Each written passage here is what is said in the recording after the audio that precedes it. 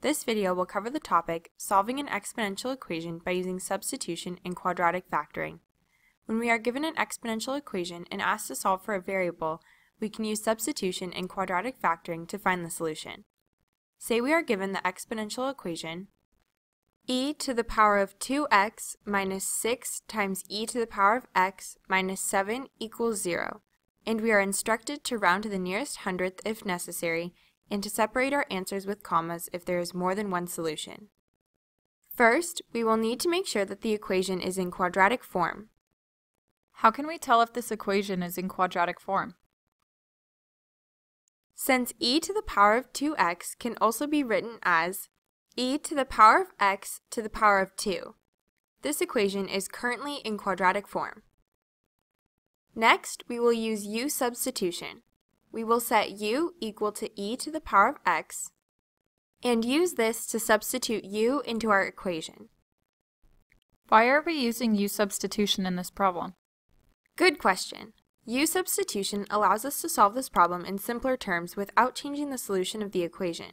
We will substitute e to the power of x back in for u at the end of the problem to solve for x. After applying u substitution, our equation now looks like this u squared minus 6u minus 7 equals 0. Then, we will factor to solve this quadratic equation. We need two numbers that multiply to get us negative 7 and add together to result in negative 6. These two numbers are negative 7 and 1. Negative 7 times 1 equals negative 7, and negative 7 plus 1 equals negative 6. These numbers help us find the factors of the equation. u plus 1 and u minus 7. Setting each of these equal to 0, we see that u equals negative 1 or 7. So is our final solution negative 1 or 7? Close, but not quite. Remember, we must undo the u substitution we applied earlier so we can solve for x, not u. Since u equals e to the power of x, the following is true. e to the power of x equals negative 1 or e to the power of x equals 7. Our final step is to solve each of these for x. We can do this by rewriting these equations in logarithmic form. x equals the natural log of negative 1 or x equals the natural log of 7.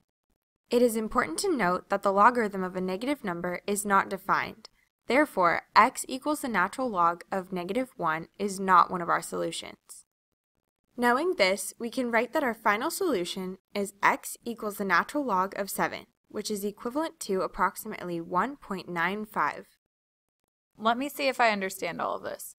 To solve exponential equations by using substitution and quadratic factoring, we first make sure the exponential equation is in quadratic form. Next, we apply u substitution. Then, we factor the quadratic equation to solve for u. Finally, we undo the u substitution and solve for x. That all sounds correct. Great work!